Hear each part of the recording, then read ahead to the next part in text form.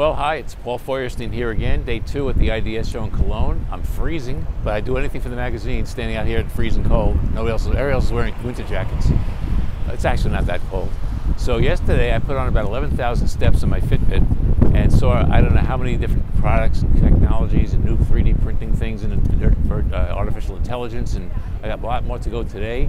Um, we're expecting a much busier day today. There's 165,000 people registered at this show, so uh, it's, it's a little tight, but the rooms are pretty big, the hall's pretty big, the booths are pretty big.